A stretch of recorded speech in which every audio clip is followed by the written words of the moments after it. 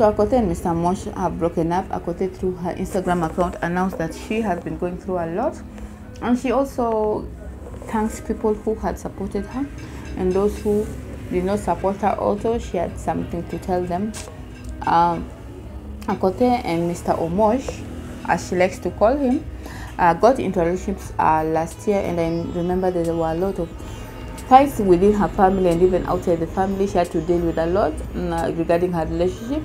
I remember she came out and said that uh, her family are trying to just sideline her because she feels that um, her sister was getting married at around the same time that she was getting married. So she said that uh, her sister felt that she was trying to take uh, her shine away from her. And she said she because of that she had to postpone her wedding to a different day she had put the wedding to be in december but she postponed it to april just to be safe. And she says also that there are bloggers who came out and tried to destroy her saying that mr omosh was married to a different woman. And uh, they, some bloggers tried to say that um, mr omosh was after her man. And Akothee of course tried to defend her man then. She had put out, in fact she warned a lot of bloggers not to dare speak about her relationship lest they will give they will have to be taken care of by being taken to court and having to pay a lot of money. She said she does not give a damn who you are and what you do, but what she cares about is for you to stay out of her love relationship and that she's going to sue anyone and everyone who tries to speak about her relationship. She also went online to say that her family is um is you know just her family is trying to to sideline her just because of her relationship with Omosh. Let's just uh, see what she had to say. My younger sister was having a wedding as well. Omosh wanted to bring cows in December, and I told him to hold on because December we are having another a wedding. I during that time we had wrangles with my sister, and she's the only one. She's the one who's always crossing my line, and I've always been waiting for her to come and apologize, which never happened. So I was waiting for my sister to come and tell me, okay, uh, you know what? Let us put our um, indifferences back. I am sorry. The only word I was waiting for to her to realize that she's really hurt me to the core, and all I need is her to uh, realize that she's hurt me and to say sorry. It would have ended there. I think she convinced everybody that there was no wedding, according to what we had. I think I have voice notes here. That there was no wedding, I just want to spoil her wedding. Remember, we're not marrying the same man. Wow. yeah? We are not even the same village. So, how was my uh, me announcing my wedding in April would affect her wedding, which was happening in December? I just wanted people to put dates so that I don't interfere because we get us we are organized people white people are organized people So this is what she had to say yesterday about her her breakup. So she had said, "Allow me to thank everyone that prayed for me in silence, everyone that walked me through the journey. I had come out of a very dangerous zone and I've been healing in private.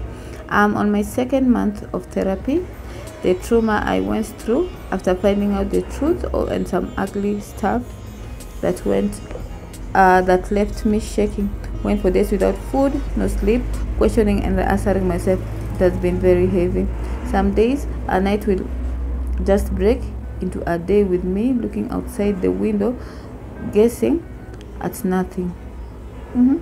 I will be shaking for no for reasons I can't explain.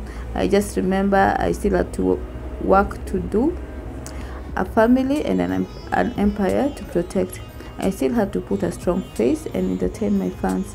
I thank all my close friends, family, especially my children, my mom, Beatrice, Chanelli, Okello, my best friend Nelly Oaks, Pielo, Vijay Adams, for being part of my strength. I would not have done it without you. Nelly Oaks, it's been a speed dial he will call me nonstop and will panic when my phone went off. My children equally, especially the girls maid. Allow me to go through this and once everything is okay, I am stable enough to talk about it, I will be back with good news. We are fixing some stuff off camera and I have made a decision.